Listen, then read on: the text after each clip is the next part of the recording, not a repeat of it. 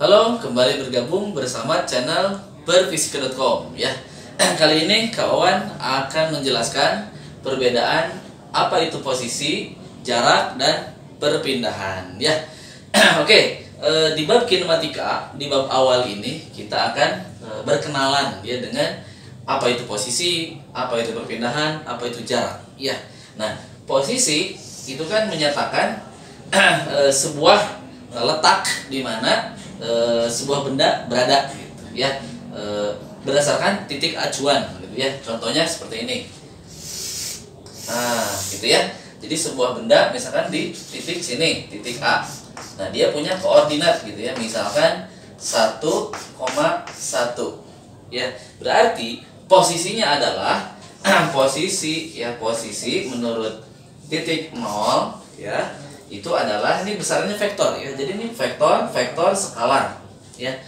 Oke, berarti apa? 1i ditambah 1j meter. Seperti itu ya. Itu posisi ya. Jadi bisa posisinya bisa x, y, z tergantung posisi atau letaknya di mana di sumbu koordinat. Oke, itulah posisi ya. Nah, yang kedua adalah perpindahan. Nah, kalau perpindahan ini menyatakan dia berubah posisi ya. Jadi perubahan posisi itu disebut perpindahan.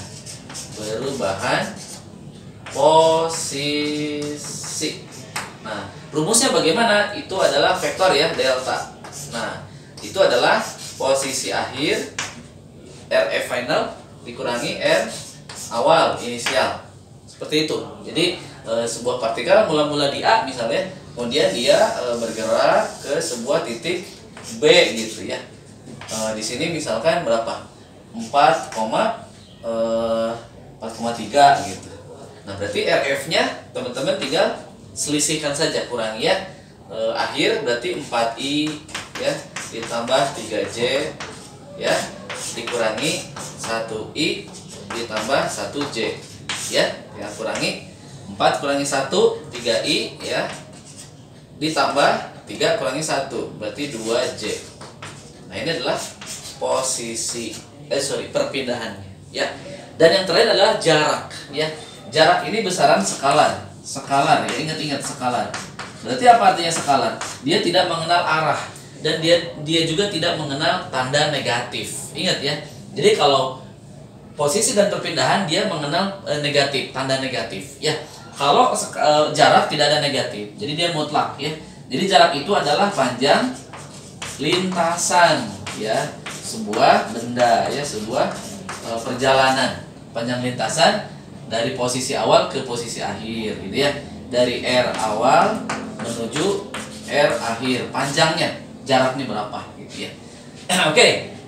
nah jadi kalau membaca grafik nah biasanya ini ada di ujian atau di kuis ya nah seperti ini ya jadi ada sebuah eh, apa grafik ya kecepatan terhadap waktu nah biasanya ditanya berapa posisinya, berapa perpindahannya dan berapa apa teman-teman? Berapa jaraknya ya. Misalkan seperti ini. Seret seret seret gitu ya. Ini kecepatan terhadap waktu. Nah, kalau ditanya jarak dari grafik itu gimana?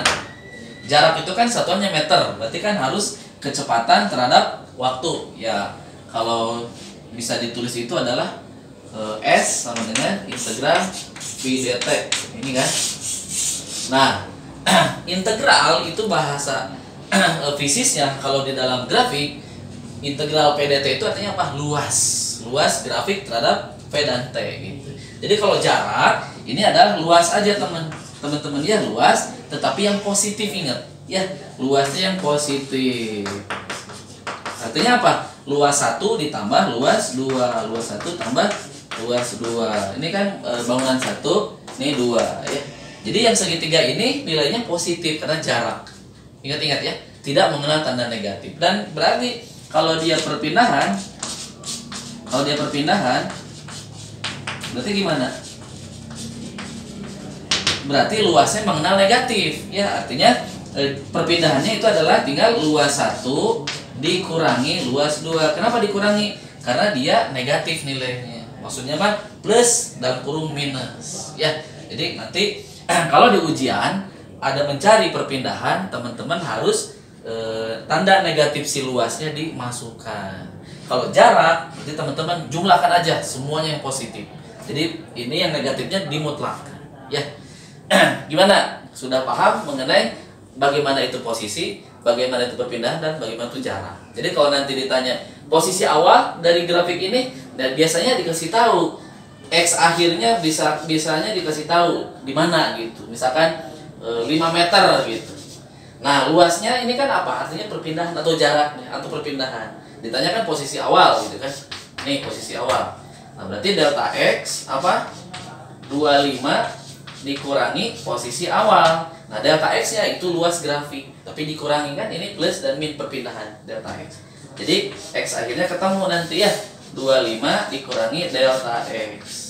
Nah, seperti itu posisi awalnya jika ditanya perpindahan ya itu saja yang dapat saya sampaikan mudah-mudahan bermanfaat jangan lupa tombol merahnya di subscribe dulu ya sampai jumpa salam berpikir